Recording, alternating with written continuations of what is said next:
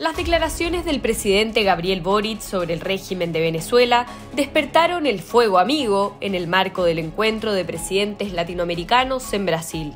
Esto luego de que rebatiera al presidente Luis Ignacio Lula da Silva, quien defendió el régimen de Nicolás Maduro, señalando una narrativa construida sobre prejuicios en contra de ese régimen.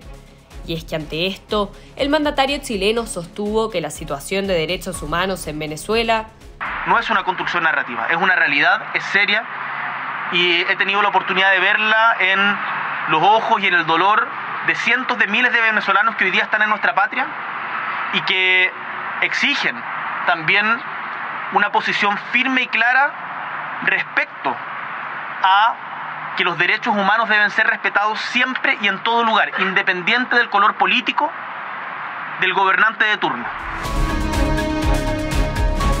Pero una de las críticas más severas vino desde Venezuela por parte de Diosdado Cabello, uno de los principales líderes del chavismo, quien lo calificó como el bobo mayor. Y convoca al presidente a esta reunión y sale Boboric, el bobo mayor. Siempre hay alguien, siempre hay un, en, toda fiesta, pensemos que es una fiesta, siempre hay un borracho impertinente. Bo, Boboric es el borracho impertinente. Que saca a bailar a las demás esposas porque es gracioso, ¿ves? Es gracioso, no es un bobo que es presidente de un pueblo, de un país, pero es un bobo con malas intenciones. Es un bobo que fue a faltarle el respeto, primero al presidente Lula y al pueblo brasileño. Bueno, queda muy mal, en verdad, porque no lo logró.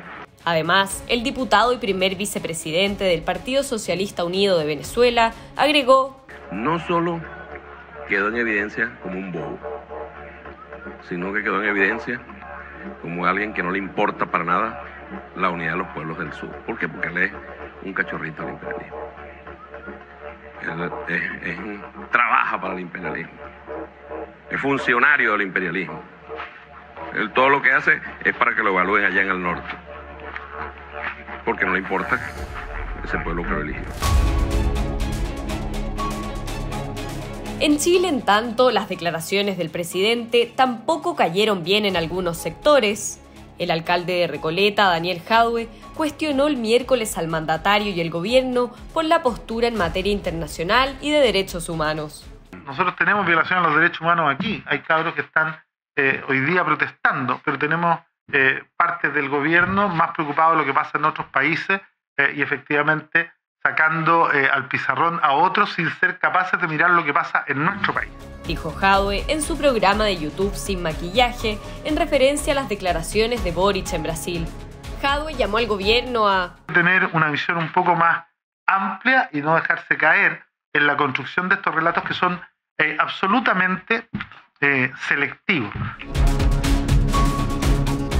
En las últimas horas, el expresidente de Bolivia, Evo Morales, también cuestionó las declaraciones realizadas por Boric en la reunión de mandatarios muy apenados por la actuación del hermano presidente de Chile, Gabriel Boric, que se olvida de la vocación antiimperialista de Allende y repite ataques de Trump contra el pueblo de Venezuela.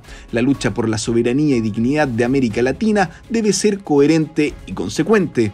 Escribió en su cuenta de Twitter. El libero, la realidad como no la habías visto. Haz que estos contenidos lleguen más lejos haciéndote miembro de la red Libero.